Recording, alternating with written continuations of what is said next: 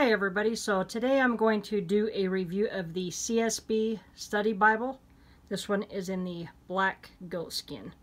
And I like this Bible so much that uh, I bought this one and because I'd had it in this one here, which is the mahogany imitation leather cover. I liked it so much that I went ahead and purchased the one in the black goat skin. So this one is going to be sent off to somebody so hopefully they will be blessed by that. But just a great Bible. So I'm going to go ahead and show you the box. And you may have seen my unboxing video of this.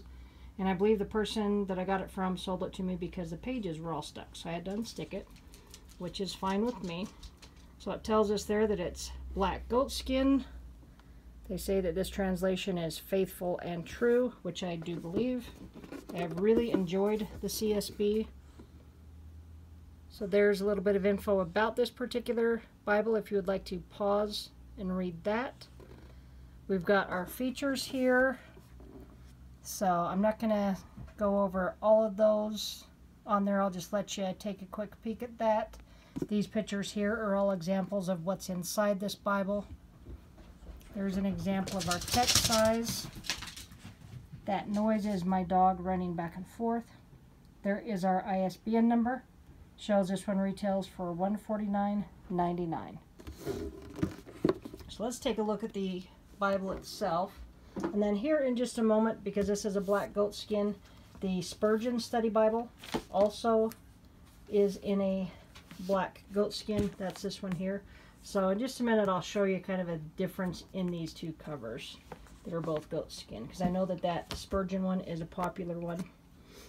But this particular Bible here it's good size. I mean, it's a study Bible. I don't think the footprint of it is very big. I mean, it is thick, but it is nine and a half inches tall by seven inches wide.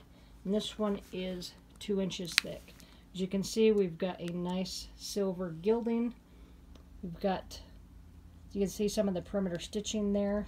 But we do have a red and black ribbon, which is nice. So these got these nice silver gilded page edges. The spine on this is fantastic. So we've got these three raised ribs, which look great. We've got CSB Study Bible, Christian Standard Bible, and Holman. On the back, there's nothing on the back, just plain this is a just a very nice Bible. I've had it for a couple weeks now, and I love it. So the cover on this one, I don't know what type of liner this is, whether it's some type of a leather lined or if it's some type of synthetic, but this one is very, very flexible.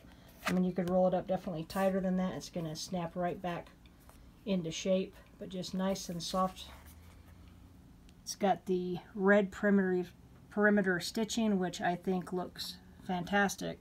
I think the color combination in this looks great. I love the red and black that they chose. So it looks like this one is edge lined, so you can kind of see how that is in there. Got our presentation page. I'm just going to kind of flip through these parts kind of quickly. So there's our copyright. There's the different editions that they have. This one is printed in China. Whoops. Alright, so we've got table of contents, our books of the Bible, an introduction to the CSB. So if you've never read the CSB and you get one, I would definitely read that.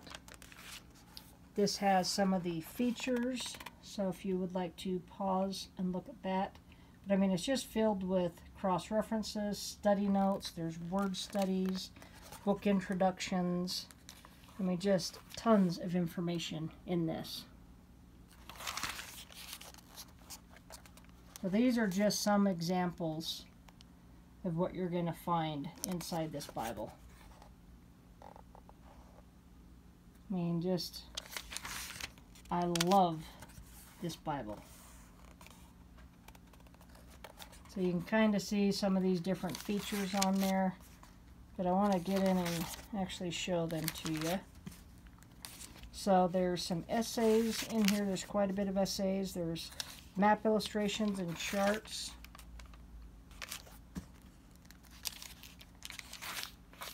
We've got uh, a bunch of Hebrew word studies.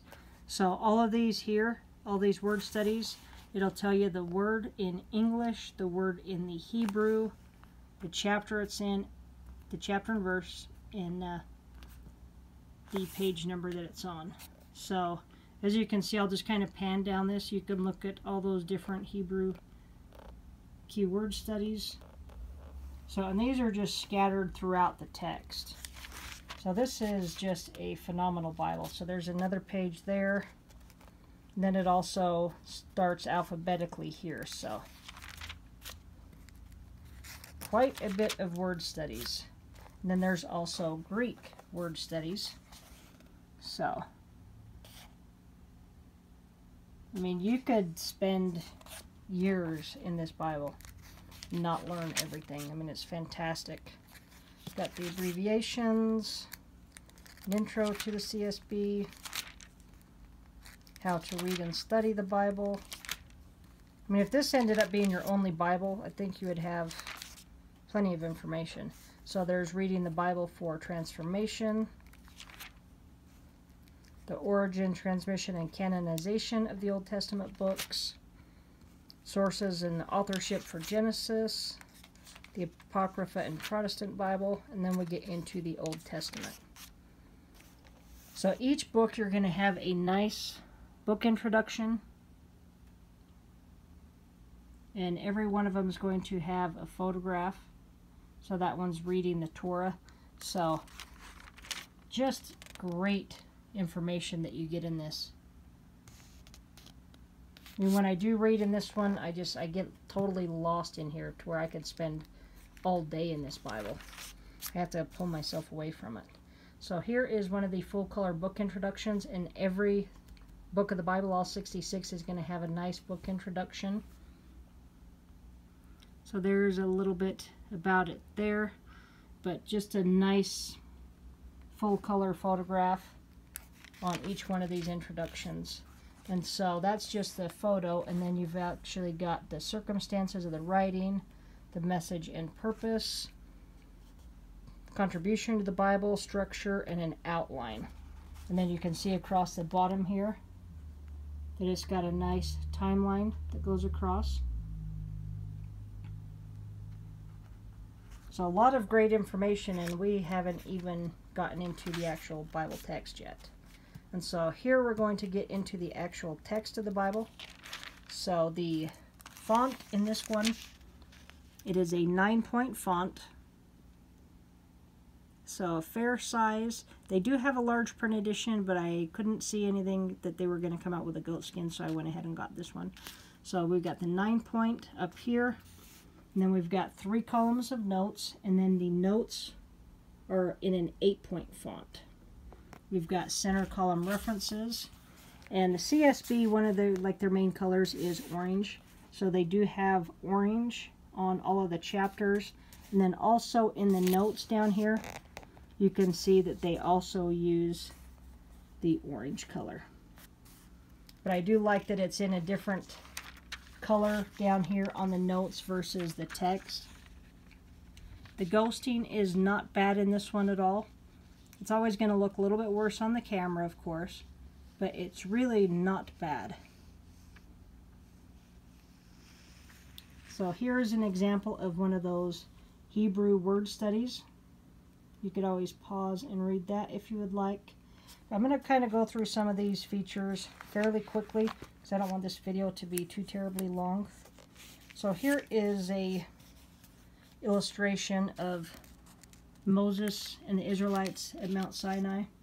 So there's a lot of nice artwork in there.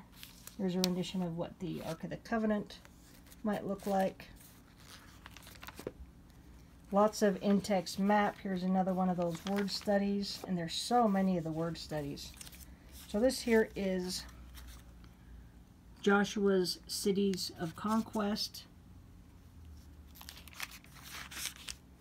And then we've got a nice in-text map. So it's nice when you're reading something in the text and it pertains to a place and it talks about it, you can go right to the map, see where that's at, and then continue reading and not have to flip to the back. So that is very nice. Here is another full color map. Also another word study there. So I do like that it is in the double column format. I do like that. Here is a nice picture here. This is the Spring of Harod. So this is where, uh, if you can see there, let me pull that out of the way. So this is where Gideon's men were tested on how they drank water. So if you remember reading about that. So a lot of actual places within this, which is neat. Again, I really do like that it's broken up in color instead of being one solid white page. I like that it is a different color on the bottom. Holman is just doing a fantastic job with the CSB. They're doing so much neat stuff. So here's a one of those nice illustrations. A lot of them it's either a nice illustration like this or it's an actual photo in each one of the introductions. So they all start off like this and then they go into those introductions. And they have those same five key features. Another word study. There's so many of these word studies in here. So this is kind of neat here. This is David's family, so you've got little symbols for male and female.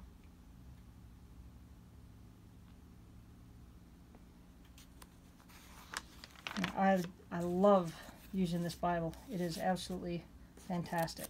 Got another map. This one is a model of the city of David.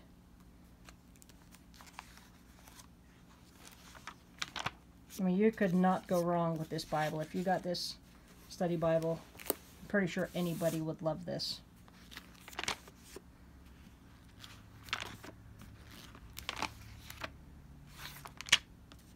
So here's an introduction to Proverbs, and there is one really neat thing in here in Proverbs. If I can find it.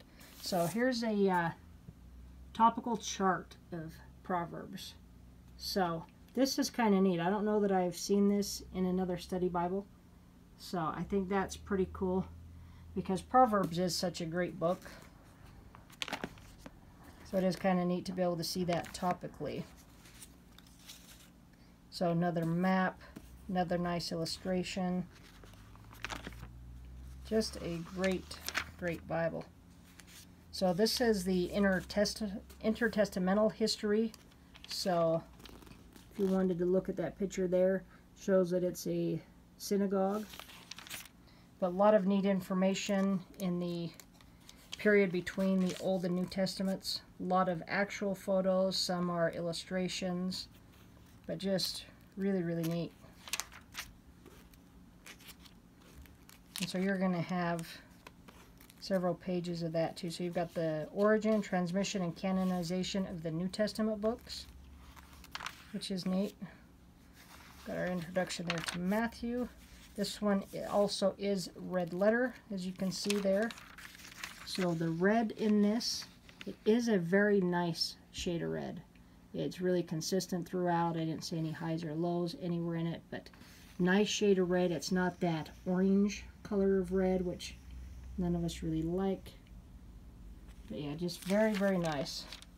So we've got another illustration there of a reconstruction of a typical first century synagogue.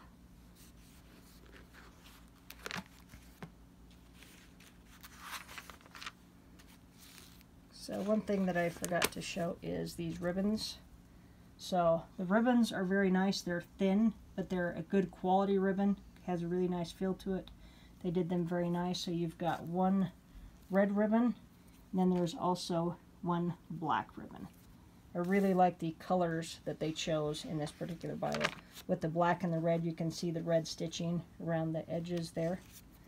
So this is the site of the Pool of Siloam here.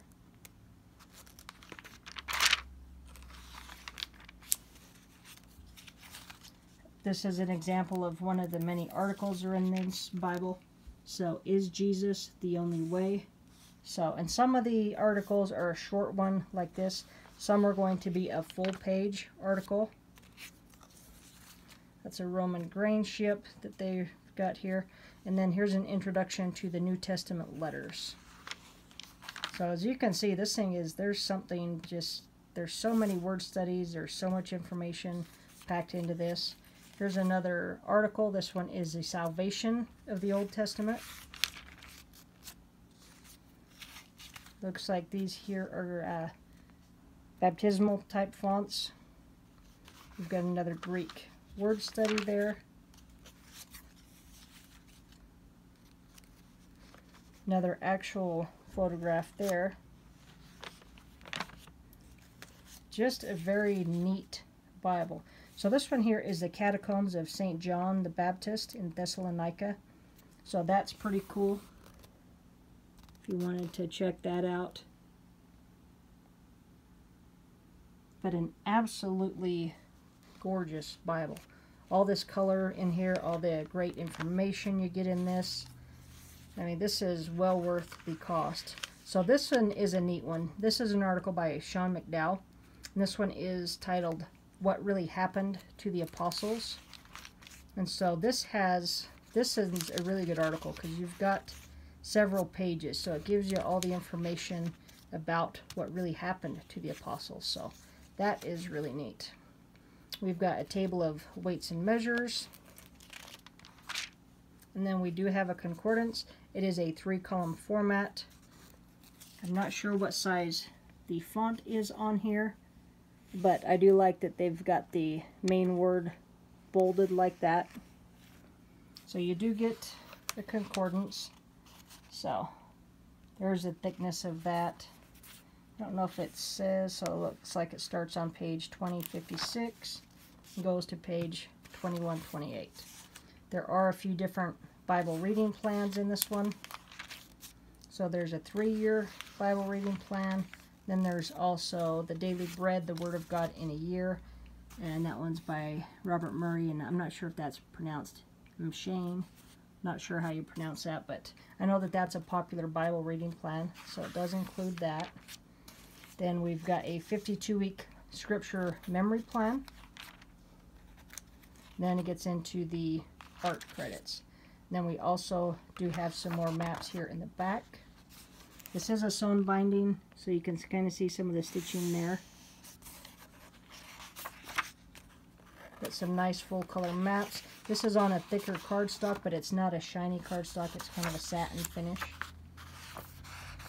And then there's just a couple pages there. And then we get into the back cover. Does tell us that it is in fact a goatskin leather but this is very, very flexible. I told you before that I was going to show you the difference between the cover on this one and the Spurgeon. Because the Spurgeon one is also a goatskin leather. So it does have the same ribs. So you can see that they both have that same ribbing. They're both done in the black.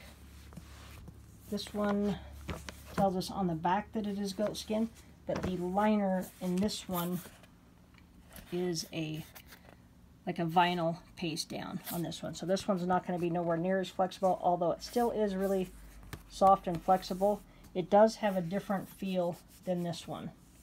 So even on the outside, and I'm not sure if that's anything to do with that inner liner or not, but this one is not a paste down liner. So very, very flexible. And that one's going to be able to roll up, go right back where it was. I would not try that on the Spurgeon one. It has the same footprint other than the one is a little bit thicker. As you can see, the CSB Study Bible is definitely thicker than the Spurgeon Study Bible. And with any study Bible, you just need to remember that the notes are not scripture. So you have to remember that the Bible is the only the actual scripture part is the only inspired part. The rest of these notes are definitely from man, so just keep that in mind when you get a study Bible. But this one, I would definitely recommend this one. So I'm going to give you a shot again of the ISBN number. This one retails for $149.99. And I'll also give you a shot of the Spurgeon Study Bible. And I also have a review of this one in my videos. So there is the Spurgeon Study Bible. So there is a $50 price difference, but you're going to have more information in this one, and then the cover is also going to be quite a bit more flexible. So keep that in mind. But either one of these would be a great study Bible. I love this one. It's fantastic. So I would highly recommend it. All right. Thanks for watching. Have a great day.